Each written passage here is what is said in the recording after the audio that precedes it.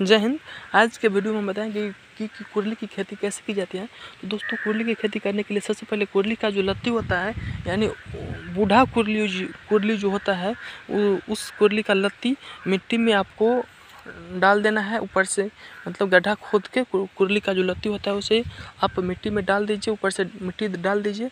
और उसके बाद कुरली के जो लत्ती होता है उसमें से थोड़ा थोड़ा इसमें मतलब उसका पौधा निकलेगा। जैसा कि आप देख रहे हैं, इस वीडियो में आपको आई होप आपको यह दिख रहा होगा। देखिए, ये जो है, यह बूढ़ा कुरली है, यानी यह जो है, सो बूढ़ा कुरली का लत्ती है। इसको हमने मिट्टी में डाल दिया है और इसको मिट्टी में डालने के बाद, एक महीने के बाद इसमें से छोटा छोटा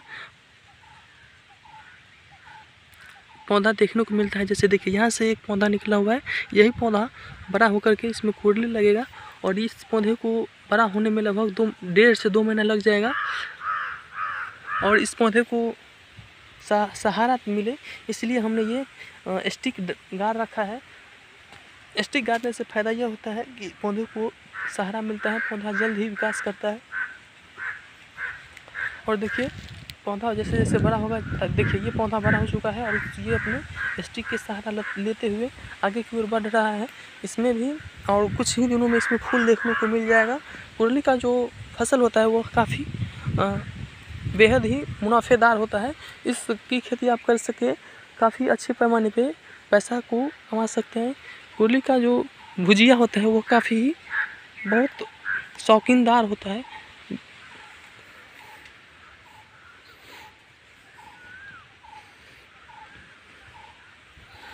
जब दोस्तों इसमें फूल फूल लग जाएगा और फूल से फल लगने के लिए हम एक असर नाम का दवा आता है, कीटनाशक दवा जो कि बतिया पलने का काम करता है, वो असर नाम का दवा को हम, का छिड़काव करेंगे ताकि बतिया ज़्यादा से ज़्यादा हो सके और हमें काफ़ी अच्छी मात्रा में मुनाफा हो। उचित रूम पे उचित रेट पे हमें ज़्यादा से ज़्यादा मात्रा में मुनाफा हो।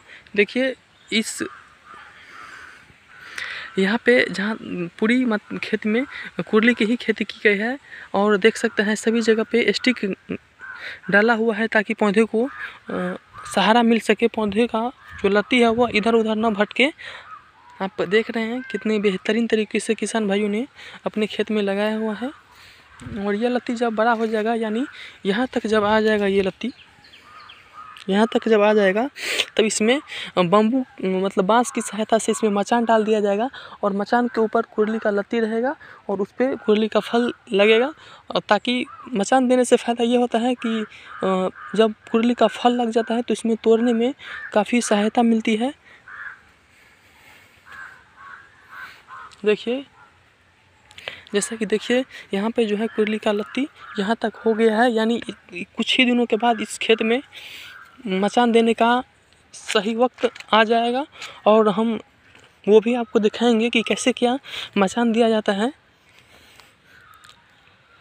इसी तरीके के तमाम वीडियो के लिए हमारे चैनल को सब्सक्राइब करें। यदि हमारे चैनल पर पहली बार आए हैं तो चैनल को कर लीजिए सब्सक्राइब। साथ ही बने घंटे का निशान